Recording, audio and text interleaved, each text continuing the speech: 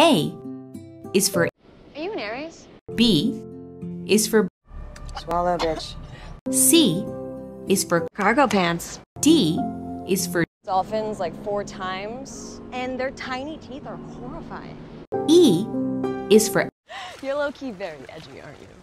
F is for Fuck My life! G is for Girly girl, like it's a bad thing. So I'm double the amount of girl, and somehow that's not feminist. H is for Hey, what's up? I is for It's dying. J is for Jesus, I was joking. K is for Kiss. Wasabi. L is for Yeah, no, that's lube.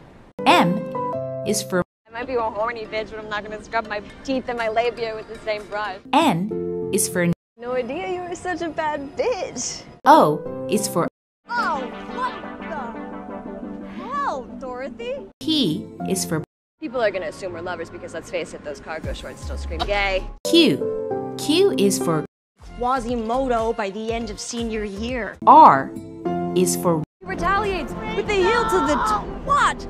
Shit! S is for What the fuck? I was sleeping. T is for Toothbrush since the jump. This was obviously a targeted attack. U is for for UTIs.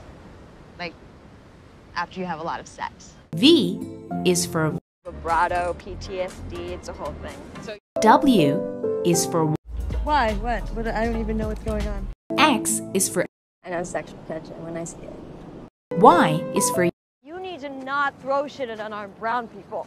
Z